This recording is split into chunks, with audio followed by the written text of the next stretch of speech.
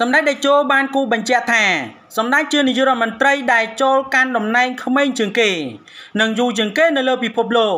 បងប្អូនជាទីគោរពរាប់អានសម្ដេចតេជោនាយករដ្ឋមន្ត្រី មានប្រវត្តិមិនធម្មតានៅក្នុងនាមជានាយករដ្ឋមន្ត្រីដែលសម្ដេចចូលកាន់តំណែងក្មេងជាងគេនិងយូរជាងគេ រហូតដល់សម្ដេចបានទម្លាក់ចុះនៅតំណែងនេះដោយខ្លួនឯង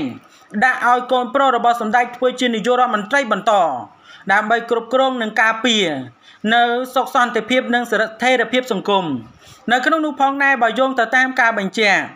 ការកាន់អំណាចរបស់សម្ដេចនៅក្នុងនោះផងដែរមកដល់ពេលបច្ចុប្បន្ននេះចូលរហូតទៅដល់ប្រមាណជា38ឆ្នាំហើយក៏ជានាយករដ្ឋមន្ត្រី ដែលកាន់អំណាចយូរជាងគេនៅលើពិភពលោកដូច្នោះកុំឲ្យប្រិយមិត្តរបស់យើងរងចាំយូរ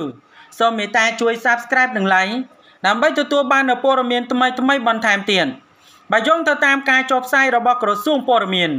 បានឲ្យដឹងថានៅព្រឹកថ្ងៃទី7ខែសីហាឆ្នាំ2023នេះគឺសម្ដេចអគ្គមហាសេនាបតីតេជោហ៊ុនសែនលោកបានគូបញ្ជាក់នៅក្នុងតរវេលា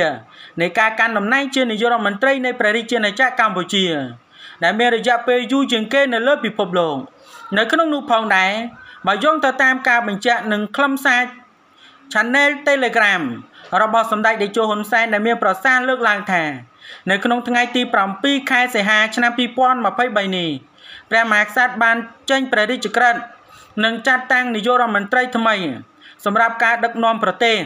បន្ទាប់ពីខ្ញុំសម្រេចដកខ្លួនចេញពីដើម្បីផ្ដល់ឱកាសឲ្យក្រុមបន្តវេនដឹកនាំបន្តពិនិត្យទៅតាមតារវេលាខ្ញុំគឺជានាយករដ្ឋមន្ត្រី ដែលចូលកាន់តំណែងក្មេងជាងគេ អាយុ32ឆ្នាំ គឺនឹងយូរជាងគេ នៅលើពិភពលោកបើគិតមកដល់ថ្ងៃទី22ខែសីហាឆ្នាំ2023គឺជាថ្ងៃដែលខ្ញុំចាក់ចែងពីតំណែងតាមផ្លូវច្បាប់និងគិតមកដល់ថ្ងៃទី14ខែមករាឆ្នាំ1985គឺជាថ្ងៃដែលខ្ញុំ ដែលសភាបានបោះឆ្នោតផ្ដល់ការទុកចិត្តឲ្យខ្ញុំធ្វើជានាយករដ្ឋមន្ត្រីផ្លូវការ ខ្ញុំបានកាន់តំណែង ជានាយករដ្ឋមន្ត្រី ចំនួន38ឆ្នាំ7ខែ8ថ្ងៃ ត្រូវជា ប្រមាណជា463ខែ និង ប្រមាណជា2014សប្តាហ៍និង ចំនួនថ្ងៃ គឺបានរហូតទៅដល់14099ថ្ងៃបើសិនជាគិតពីអតីតការងារនៅក្នុងរដ្ឋាភិបាល ចាប់តាំងតែពីថ្ងៃទី8ខែមករាឆ្នាំ1979មកនៅក្នុងតំណែងជានាយករដ្ឋមន្ត្រីនិងការបរទេសនិងជាឧបនាយករដ្ឋមន្ត្រីរដ្ឋមន្ត្រីក្រសួងពាក់ព័ន្ធនិងជានាយករដ្ឋមន្ត្រីស្ដីទីនិងជានាយករដ្ឋមន្ត្រីពេញសិទ្ធត្រឹមថ្ងៃទី22ខែសីហា ឆ្នាំ2023ខ្ញុំធ្វើបាន44ថ្ងៃ បាទ44ឆ្នាំ7ខែ14ថ្ងៃត្រូវជាប្រមាណជា535ខែ និង2328សប្តាហ៍និង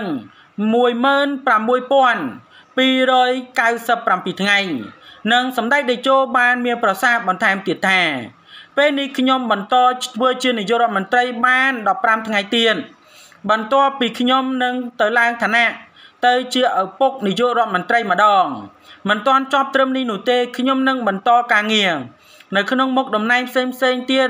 យ៉ាងតិចឆ្នាំ2033ដែលពេលនោះខ្ញុំនឹងបំពេញការងារជាងកន្លះសតវត្សហើយសូមអរគុណភរិយាជាទីស្រឡាញ់ដែលបានចិញ្ចឹមកូនដ៏កំសត់មួយនេះនៅក្នុងពេលវេលាដ៏លំបាកបំផុតរហូតដល់គេคล้ายទៅជាមេដឹកនាំនិងកម្ពុជារបស់ជាតិនៅក្នុងពេលនេះ ដូច្នោះព័ត៌មាននេះមានប៉ុណ្ណឹងដើម្បីទទួលបាននូវព័ត៌មានថ្មីៗបន្ថែមទៀតសូម Subscribe និង Like